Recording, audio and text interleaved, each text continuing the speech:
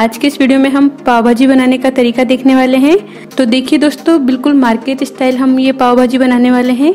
आप देख सकते हैं इसका कलर कितना अच्छा आया है। मैं आप सभी को पाव भाजी बनाने का सीक्रेट बताने वाली हूँ। मैंने भी कई बार पाव भाजी ट्राई करी है, लेकिन ये तरीका सबसे बेस्ट तरीका है। जब इसे बनाएँगे तो आप होटल की पाव भाजी खाना जो है वो भूल जाएँगे। बिल्कुल मार्केट की तरह बनाएँगे हम इस पाव भाजी को। इस पाव भाजी को बनाने के लिए हम ना तो ज़्यादा मसाले यूज़ करेंगे और ना ही हम बहुत ही ज़्यादा सब्ज़ियाँ यूज़ करने वाले हैं। और सबसे बड़ी बात यह है कि हम इस पाव भाजी को बिना मेशर के बनाएँगे। तो इस वीडियो को हम देखेंगे, बिना मेशर के हम पाव भाजी कैसे बनाते हैं। कंप्लीट स्टाइल में हम ये पाव भाजी बनाएँगे। सच में दोस्तों, ये पाव भाजी बहुत ही ज़्यादा टेस्टी बनेगी। आप बाहर की पाव भाजी खाना भूल जाएँगे। आप इसे घर में बना करके खाना बहुत ही अच्छे से पसंद करेंगे। तो चलिए, हम जल्दी से इस पाव भाजी की रेसिपी को देख लेते हैं।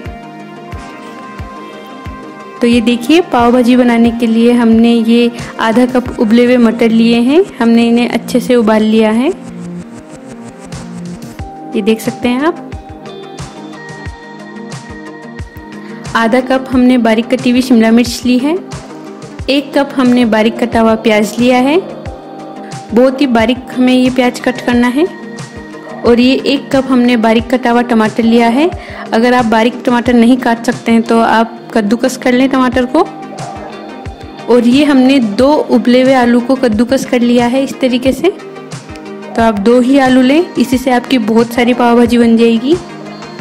मसालों में हमने ये एक बड़ा चम्मच जिंजर गार्लिक का पेस्ट लिया है। ये जिंजर गार्लिक पेस्ट मैंने घर पे ही बना के तैयार किया है। इसके लिए आप थोड़ा सा लहसुन और थोड़े से अदरक को आप एक कप गर्म पानी में डाल के पाँच मिनट के लिए उबाल लें और पाँच मिनट के बाद ठंडा होने के बाद इसे पीस लें।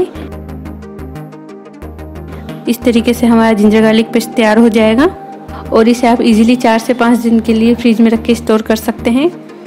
ये हमने कश्मीरी लाल मिर्च का पेस्ट लिया है। इसी की वजह से हमारी पाव भाजी में कलर आएगा। तो इसे बनाने के लिए हमने पाँच से छः कश्मीरी लाल मिर्च को गर्म पानी में एक घंटे के लिए भिगो दिया था और उसके बाद हमने इसको पीस करके इसका बारीक पेस्ट तैयार कर लिया है। और ये एक छोटा चम्मच हमने लाल मिर्च का पाउडर लिया है। आप कश्मीरी लाल मिर्च का पाउडर भी यूज़ कर सकते हैं। और ये एक बड़ा चम्मच हमने पाव भाजी मसाला लिया है।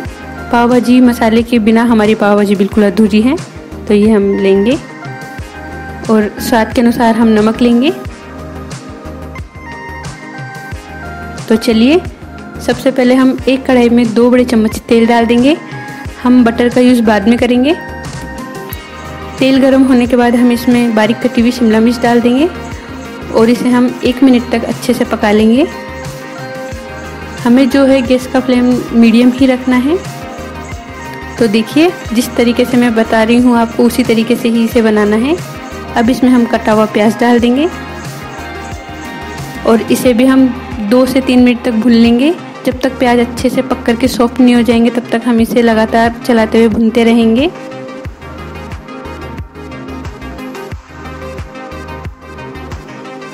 ये देखिए, प्याज हमारे अच्छे से पक करके सॉफ्ट हो चुके हैं।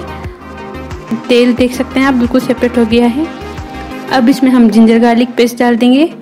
इसे भी हम एक से दो मिनट तक लगातार चलाते हुए पकाएँगे। ध्यान रखें, आपको सारी सब्जियों को अच्छे से पकाना है। यही हमारी पाव भाजी बनाने का सीक्रेट है। हमें जल्दी जल्दी से सारा सब कुछ एक साथ नहीं डालना है। हमें धीरे धीरे ये सारी सब्ज़ियाँ ऐड करनी है और इसे अच्छे से पकाते हुए हम सारी सब्ज़ियाँ ऐड करेंगे। अब इसमें हम कटा हुआ टमाटर डाल देंगे। और इसे भी हम लगभग चार से पाँच मिनट तक मीडियम फ्लेम पर लगातार चलाते हुए पकाएँगे। जब तक तेल जो है वो अलग से दिखाई नहीं देने लग जाएगा, तब तक हम इसे अच्छे से पकाएँगे। ये देखिए, तेल अच्छे से दिखने लग गया है। आप देख सकते हैं, इस तरीके से आपको इसे पकाना है। अब इसमें हम कटा हुआ हरा धनिया डालेंगे। इसे मैंने इंग्रेडिएंट्स में दिखाना भूल गई थी। और थोड़ा सा धनिया हम बाद में डालेंगे। इसे भी हम एक मिनट तक अच्छे से पका लेंगे। जिस तरीके से मैं आपको ये बता रही हूँ सीक्रेट बिल्कुल आप उसी तरीके से बनाएँ और उतनी ही क्वांटिटी में आप सब्ज़ियाँ डालें, बहुत ही अच्छी पाव भाजी बनेगी है अब इसमें हम कश्मीरी लाल मिर्च का पेस्ट डाल देंगे। ये बिल्कुल भी तीखी नहीं होती है, बहुत ही कम स्पाइसी होती है, आप इसे ज़्यादा भी डाल सकते हैं अपने स्वाद के अनुसार। आप देख सकते हैं, इस पेस्ट को डालने के बाद में इसका कलर चेंज हो गया है।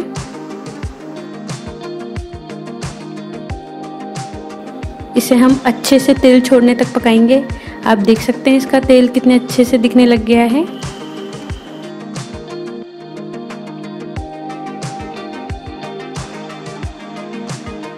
अब इसमें हम मटर डाल देंगे। इसे भी हम दो से तीन मिनट तक इसे अच्छे से पकाएँगे। ध्यान रखें, आपको सारी सब्ज़ियाँ एक साथ नहीं डालनी है। एक एक करके आपको सारी सब्ज़ियाँ डालनी है और उन्हें अच्छे से पकाना है आपको।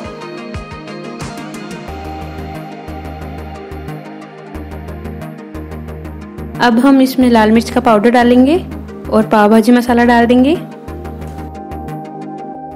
अच्छे से मिक्स करेंगे। इसका फ्लेम हमें मीडियम ही रखना है। ध्यान रखना है आपको ये।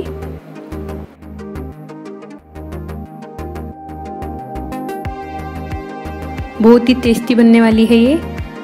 अब देखिए, अब इसमें हम गर्म पानी डालेंगे थोड़ा सा। बहुत थोड़ा हमें इसमें गर्म पानी डालना है। जिससे पाव भाजी मसाले की जो खुशबू है वो बहुत ही अच्छी आएगी। आप एक गिलास गर्म पानी करके रख लें अलग से और उसे हम थोड़ा थोड़ा करके पाव भाजी में मिक्स करेंगे। तो ये देखिए थोड़ा सा हमने इसमें गर्म पानी डाल दिया है। तो अब इसे भी हम तेल छोड़ने तक पका लेंगे। आप देख सकते हैं, लगभग तीन से चार मिनट के बाद ये अच्छे से तेल दिखाई देने लग गया है इसमें। तो इसी तरीके से आप तेल छोड़ने तक सारी सब्जियों को पकाएँ। अब हम इसे मैश करेंगे। इसे मैश करने के लिए देखिए, इस तरीके से हम एक ग्लास लेंगे, जिसका तला एकदम फ्लैट होना चाहिए, और उससे हम इसे इस तरीके से मैश कर लेंगे। तो देख सकते हैं ना, आप कितना इजी है इसे मैश करना। बस आपको इस तरीके के एक ग्लास की ज़रूरत होगी, या आप इससे रिलेटेड कोई भी बर्तन का यूज़ कर सकते हैं इसे मैश करने के लिए। और इसे अब हम अच्छे से मैश कर लेंगे। तो आप बिना मेशर के भी देखिए इजीली घर पर मार्केट स्टाइल पाव भाजी बना सकते हैं। तो सब्जियों को हमने मैश कर लिया है, अभी हमने इसे पूरी तरीके से मैश नहीं किया है। हम दोबारा से इसे मैश करेंगे। तो देखिए, इसे हम थोड़ा सा पका लेंगे तेल छोड़ने तक।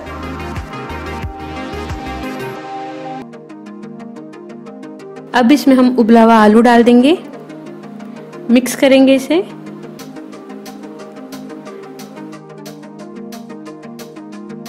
अब इसमें हम थोड़ा सा पानी डालेंगे फिर से। इसमें हमें गर्म पानी ही डालना है, जिससे पाव भाजी जो है वो जल्दी से पक करके तैयार होगी। और इसे हम लगातार चलाते हुए पकाएँगे। लगभग तीन से चार मिनट तक हम इन आलू को भी पका लेंगे। तो देखिए, फिर से हम इसमें पानी डालेंगे। इसमें हमें थोड़ा थोड़ा करके पानी डालना है और लगातार इसे तेल छोड़ने तक पकाते हुए रहना है। तो ये देखिए। लगभग तीन से चार मिनट के बाद में पाव भाजी में तेल दिखने लग गया है। अब हम इसे फिर से मैश कर लेंगे। अच्छे से मैश कर लेंगे हम इसे। इस पाव भाजी को बनने में लगभग 12 से 15 मिनट लगेगी। बहुत ही आसान है इसे बनाना। आप देख सकते हैं। हमने इसे अच्छे से मिक्स कर लिया है।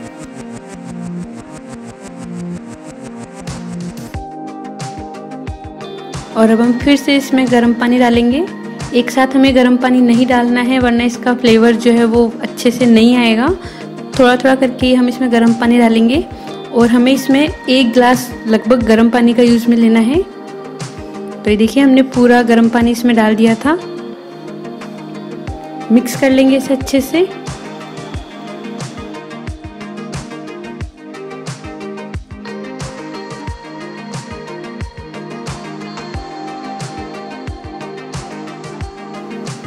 और अब हम इसमें स्वाद के अनुसार नमक डाल देंगे। मिक्स कर लेंगे। और फाइनल हम इसे दो से तीन मिनट तक इसे अच्छे से पका लेंगे। पाव भाजी हमारे अच्छे से पक करके तैयार हो चुकी हैं। अब इसमें हम यहाँ पे बटर डालेंगे। हमने स्टार्टिंग में बटर का यूज़ नहीं किया था। लास्ट में हमने इसमें बटर डाला है जिससे इसका फ्लेवर अच्छा आएगा। तो इसे हम अच्छे से मिक्स कर लेंगे। तो ये देखिए, हमारी पाव भाजी के लिए भाजी बन करके तैयार हो चुकी है। बहुत ही टेस्टी भाजी बनी है ये, यकीन मानिए दोस्तों। तो चलिए, अब हम पाव बनाते हैं। मसाला पाव बनाएँगे हम। मसाला पाव बनाने के लिए हम इस तरीके से पाव लेंगे और उसे एक नाइफ की मदद से बीच से इस तरीके से कट करेंगे। देखिए। इस तरीके से हम इसे कट कर लेंगे। और अब हम एक तवे के ऊपर घी डालेंगे। देखिए दोस्तों, हमें सबसे पहले घी डालना है और उसके बाद में हम इस पर एक चम्मच बटर डालेंगे। आप बटर पहले नहीं डालें, वरना ये बटर जल जाएगा। इसी तरीके से आप इसे डालें और उस पर हम थोड़ा सा कश्मीरी लाल मिर्च का पाउडर डालेंगे। ये बिल्कुल स्पाइसी नहीं होता है। कलर में भी अच्छा आता है और कम स्पाइसी होता है ये। और उसके ऊपर हम पाव को इस तरीके से रख करके सेक लेंगे। ये देखिए, इस तरीके से हम इसे सेक लेंगे। तो पाव हमने बीच से अच्छे से सेक लिए हैं। अब इसे हम बंद कर देंगे इस तरीके से और दोनों तरफ़ हम घी या बटर लगा करके इसे अच्छे से सेक लेंगे।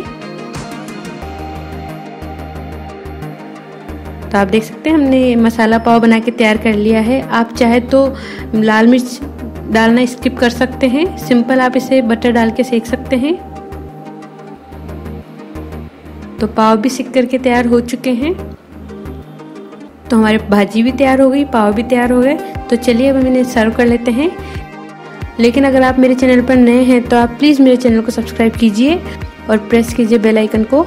इससे आपको मेरे नए वीडियो की नोटिफिकेशन समय समय पर मिलती रहेगी। तो ये देखिए, हमने पाव भाजी बना के तैयार कर ली है। आप देख सकते हैं कितनी टेस्टी बनी है ये। बिल्कुल रेस्टोरेंट स्टाइल बनी है। आप मार्केट की पाव भाजी खाना भूल जाएँगे अगर आप इसे एक बार घर पर बना के ज़रूर ट्राई करेंगे तो। इस पर हम कटा हुआ धनिया डालेंगे।